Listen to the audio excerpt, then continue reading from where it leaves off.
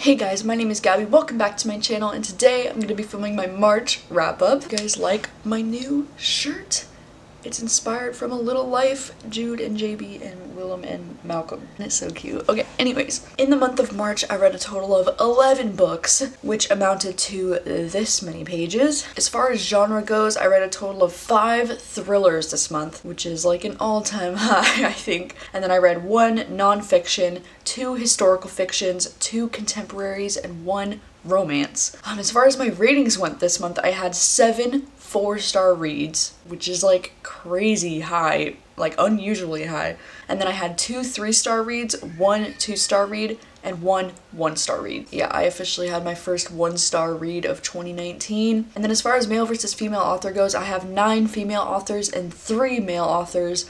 And the reason why that doesn't add up to uh, 11 is because one of the books had a male and female author on it. So let's just jump into what I read this month. The first book I managed to read this month is I Know Who You Are by Alice Feeney. This is an ARC that I received from Flatiron Books and it comes out in late April. This one is an adult thriller. It doesn't really tell you too much about what this book is about in the premise, but it's basically about this actress whose husband goes missing and $10,000 has been cleared out of their shared bank account. And that's pretty much all that the book tells you going into it, but this book is about that and so much more. It's like going and flashing back to the actress's childhood when something really horrific happened to her as a kid, and so you're simultaneously going back and forth between her childhood and the present day when her husband's missing. And this book was flippin' crazy. Okay, it was crazy. I am actually planning on making a full video about this book in April because I just have so much to say about what happened in this book. This one was very strange. Like it started off so, so, so good and it was looking to be a five-star read for the first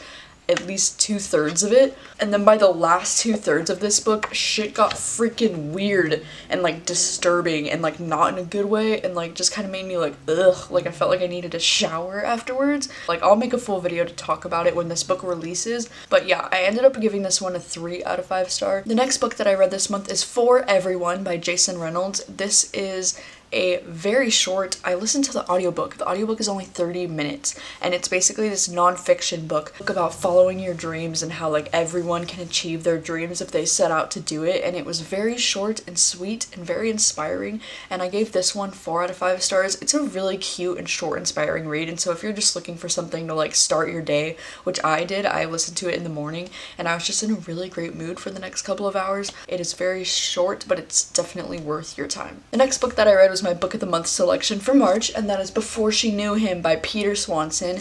And if you guys didn't know, Peter Swanson is one of my favorite authors of all time. Like, I absolutely love his books. This one, it's kind of hard to explain what exactly this book is about, but it basically follows these neighbors, and the girl neighbor goes into the guy neighbor's house and she sees this trophy in his on his desk that was like involved in a recent murder that took place on the street that they used to live on that she was like really fascinated with this murder case and so he has the trophy with the kid's name on it that was involved in the murder and so she's thinking her neighbor is a murderer and then it simultaneously follows from his point of view when he's like oh shit she's on to me like she knows something because of the way she like saw the trophy and was like freaking out. And it's this like crazy story falling back and forth between these two neighbors and trying to figure out like who exactly he is and like what happened. And it's just a crazy wild time. Like i've really enjoyed this story. The freaking plot twist at the end shook me so hard like i did not see it coming and i was just like what like, it all makes sense now. That was a perfect plot twist, and I don't know why I didn't see it coming, like, so good. Like, that plot twist, holy shit. And so, I ended up giving this one 4 out of 5 stars, and the only reason why I ended up knocking off a star is because I feel like there were a lot of slower chunks in this book that could have been taken out and I wasn't absolutely obsessed and in love with the story the way that I am with a lot of Peter Swanson's other books like this is probably my least favorite from Peter Swanson so far but I still really enjoyed it like it's still a great book which just says a lot about his writing and how much I love his other books. Alright so the next book I read this month was The Immortalist by Chloe Benjamin and this one is a historical fiction kind of novel but more like literary fiction feel about these four four siblings who go to this psychic in the 1960s and she tells them the day that they're going to die. And then we get to follow in different sections all four of the siblings as they like live their lives up until their death date and how like knowing their death date has affected how they live their lives. Oh my gosh, this book was so freaking cool and unlike anything I've ever read before and this reading experience that I had with this book was really cool because I simultaneously read the book and listened to the audiobook like back and forth, which I never really do for books. I usually only read the physical book or only listen to the audiobook.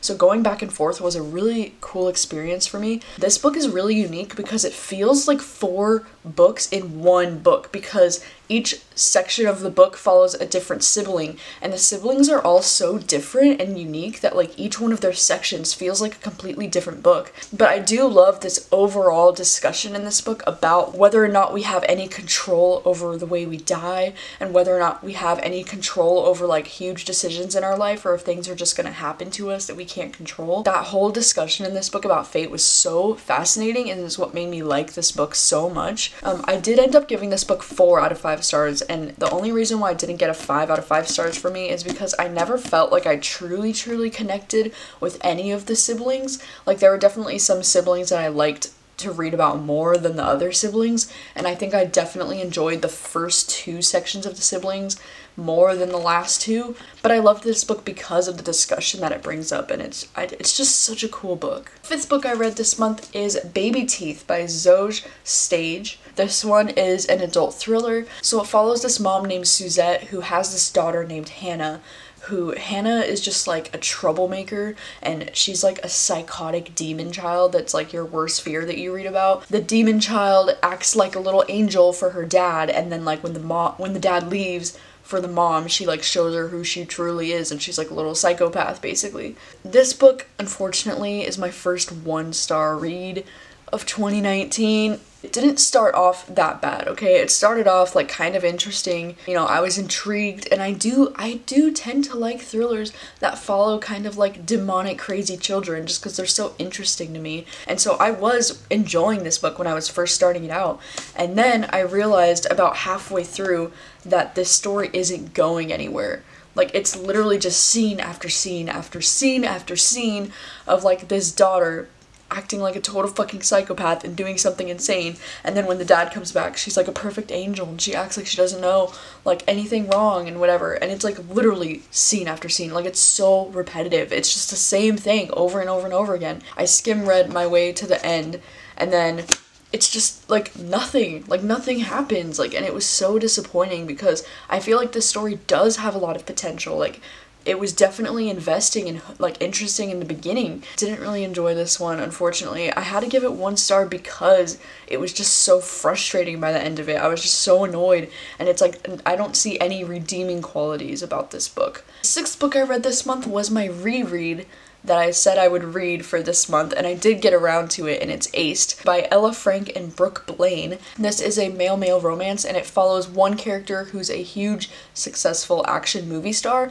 and then the other guy is a model turned actor, and they're both starring together in this sequel of like the action star dude's big movie. This is a very short and sweet male male romance that I just really love and adore. I love Ace and Dylan both so much and I love their chemistry and they're just so cute and I'm so glad that I reread this. And I didn't realize the first time I read this that I also gave it four stars. For some reason I thought every book that I was rereading was a five star book, but it was a four star read the first time I read it, and now this time that I read it, it was also a four star read. Like, it wasn't quite up there as a five star read, but yeah, so I mean, I have like pretty much the same thoughts about it as I did the first time I read it, so at least I'm consistent, I guess. The seventh book that I read this month is Say You're Sorry by Karen Rose. This is a 600 page romantic thriller. So I was attempting to do a video with this book called like reading a 600 page book in six days. Just read 100 pages every day for six days with this book. But after 250 pages of this book, I decided to DNF it because it was just so flippin' repetitive and boring and I just couldn't get into it and it had been 250 pages. I ended up giving it two out of five stars. But this book is basically about this serial killer and then it follows from the point of view of the serial killer and the detective that's like going around trying to find out what's going on. And then it also follows from the point of view of one of the serial killer's victims who escaped. Then it's also a romance between the girl, the victim who escaped from the serial killer, and the detective. It's like a romance between them. I guess I just really don't enjoy thrillers that follow from the point of view of a detective. Like, I just find them so boring and like stale. I knew that about myself, but I thought maybe if it was also a romance, it would like cancel it out and make it a little bit more interesting, but I was wrong. Right, so the eighth book that I read this month is Five Feet Apart by three different authors here. I think this girl, Rochelle, is the one who actually wrote this book, and then the other two, Mickey and Tobias, are the ones who wrote the screenplay. But this one is a young adult contemporary novel that I probably wouldn't have picked this book up myself. Like I will say, like I'm just not really into young adult contemporary anymore. I probably wouldn't have picked this book up myself if it wasn't for the fact that Simon and Schuster had sent this book to me and I've just been hearing a lot of really great things about this book and the movie and I still really do want to see the movie by the way. That follows these two teenagers. She has cystic fibrosis and he has B. cepacia, I want to say that it's pronounced. And so he has something that's just a little bit worse than what she has. So they can't stand within six feet of each other or else they risk in, they risk infecting each other. And so this is definitely it feels to me like The Fault in Our Stars meets everything everything kind of. But yeah, I actually really enjoyed this book. Like this book surprised me. Like I kind of went into it thinking it was just going to be like you know, cliche, cheesy YA. And like a part of this book is like it's definitely a little bit more cheesy, like especially towards the end in my opinion. But I did connect a lot with these characters and I actually thought that they were really cute. Four out of five stars. The only reason why this one didn't get a 5 out of 5 is because of the fact that it was a little bit like YA cliche tropey at times, you know, but like I still really enjoyed it and I thought it was great and it actually did make me a little bit emotional.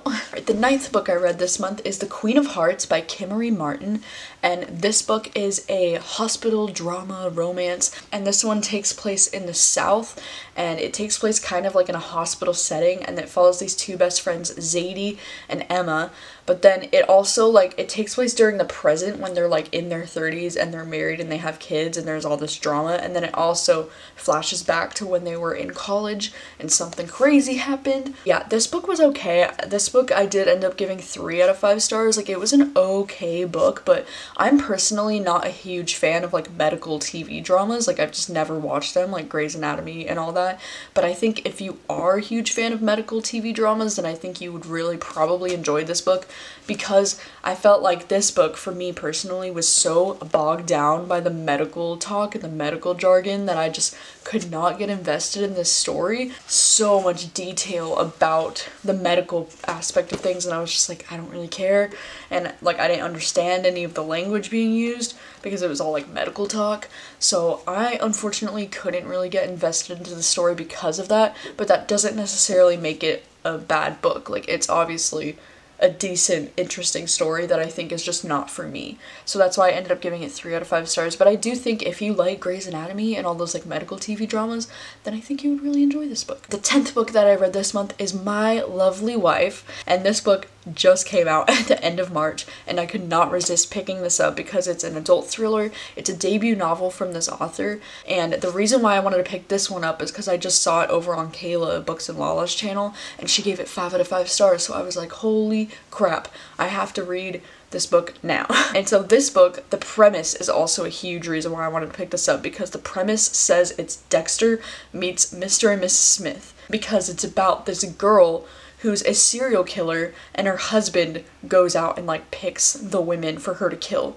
basically. In my opinion though, this book is definitely more Dexter meets Santa Clarita Diet. Yes, it's like Dexter because she's like the female version of Dexter, like a serial killer, but then it's also like Santa Clarita Diet because the husband goes out and like finds women for her to kill. So it's like so like Santa Clarita Diet to me, which I just love because I freaking love that show. That's like the basic premise of this book. Like I can't really tell you too much else without spoiling it. This book is just so entertaining. It's freaking insane. Yeah, I ended up giving this one 4 out of 5 stars and the only reason why this one didn't get 5 out of 5 for me is because of the fact that I feel like this book was a little long and like there were definitely some chunks of this book that could have been cut out. But oh my gosh, this book was just so entertaining and I do highly recommend it because it was just a really great time. Like it was just so fucked up but like so great. And so the last book that I read in the month of March is Daisy Jones and the Six by Taylor Jenkins Reid. And if you're like thinking that you thought I've already read this book,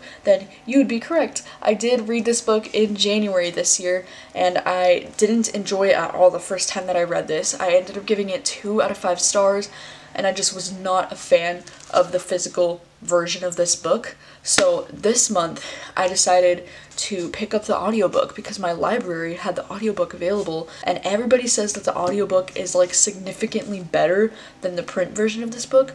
So I went ahead and listened to it and I would say that everybody's right because I ended up giving this book 4 out of 5 stars this time that I listened to the audiobook. The audiobook is really great because there's a full cast of characters voicing the audiobook. Huge part of the reason why I didn't enjoy this book the first time that I read it is because this entire book is told in interview form. So it's like literally this entire book is like a narrator saying like Daisy Jones and the Six did this and then it's like all the characters commenting like what happened and this narration style did not work for me at all in the physical form. Like, I found it very frustrating and very annoying, and I couldn't connect with any of the characters. This time, listening to the audiobook, the voices really made the characters come to life, and it made me connect a lot more with the characters. Like, listening to the audiobook, it still did take me some time to get used to that writing style, even with the audiobook, which is why it only got a 4 out of 5 for me. And because, like, as much as I did enjoy this story this time around, like, I really did enjoy Daisy's character character a lot more in the audiobook and Billy's character and Camila's character a lot more in the audiobook. I think Camila is my favorite character in this whole book, by the way. But yeah, this book is about this band Daisy Jones and the Six that takes place in the 1970s. It's like a historical fiction novel and it's about how this band got together for one album and then broke up. And so this is like the first time that the band's like telling the story about what happened. I did love so much more this time around listening to Daisy and how she like came to know the band and how she just kind of like took over and I loved hearing about her like writing with Billy and just like Billy and Camila's uh, relationship and just like oh my god there were so many great things in this book that I enjoyed so much more because of the audiobook. And I'm so glad I did end up giving this book a second chance because like Taylor Jenkins Reid is my favorite author. Not liking this book the first time around was very like ugh, disappointing for me. I think I just went into it with very high expectations and very false expectations because I just expected it to be a lot more like Evelyn Hugo. And Evelyn Hugo is just so different from this. Like this is a completely different book and it's not even similar, like obviously. I mean, obviously. But yeah, I still ended up only giving it 4 out of 5 stars just because I don't think this book is as good as Taylor Jenkins Reid's other books. I think this book does, like, that thing that I kind of hate too in books when it does a lot of telling and not showing. Like, I hate when books like when the authors tell things instead of show things and the only way I know how to describe this is like we get to see what happened instead of getting to experience it with the main characters. So like I think that's like the main difference in this book and like Evelyn Hugo is because in Evelyn Hugo it's like you get to experience her entire career with her basically. But then in this book it's like we just get to hear about what happened in the past. We just get to hear that Daisy Jones is like such a badass and she's like so crazy, but we don't actually get to see her be those things. So that's what I mean when I say like I don't like I don't like books that